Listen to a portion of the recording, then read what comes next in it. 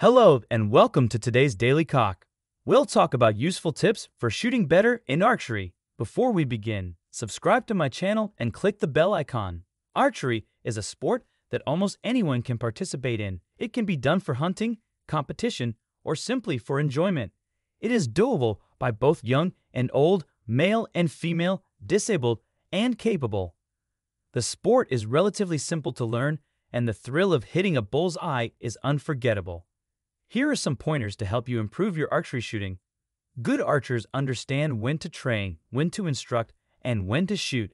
Coaching and teaching are simple tasks since most archers do it intuitively. However, while attempting to perform anything effectively, particularly at a high competitive level, it is critical to focus only on the doing. The archer should only concentrate on his or her form and firing. When playing the game, all one has to do is shoot their arrows into the goal. Another suggestion is to achieve balance in order to properly follow through. When shooting, archers frequently forget that the bow arm must counteract the pulling arm. Some people are so focused on drawing the rope back that they fail to maintain equivalent tension on the opposite arm. If this is not done, the pressures on the skeletal structure will not be equal. Upon the archer's equilibrium is off, he or she will jolt and flinch when releasing the shot. It is necessary to create equilibrium by using both the pulling and pushing arms. When shooting, an archer should act as if he or she were in a life or death scenario.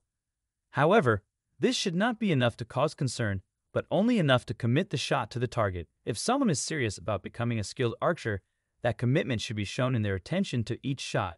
If a person does not perform to the most of his or her capacity, they should give up immediately.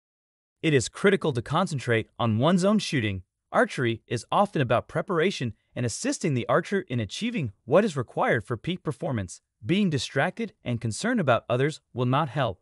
An archer should be worried about things like whether his or her equipment is in good working order, the straightness of his or her arrows, if his or her case includes spares, range gear, sunblock, and so on. A person owes it to themselves to control everything related to their shooting, since failing to do so is irresponsible. Archers should train in such a way that they do well in contests. An archer should be prepared for all competitive circumstances and use visualization to assist prepare for competition. All of the shooting equipment, including spares, should be used. When archers compete, they should compete with the attitude they have prepared for.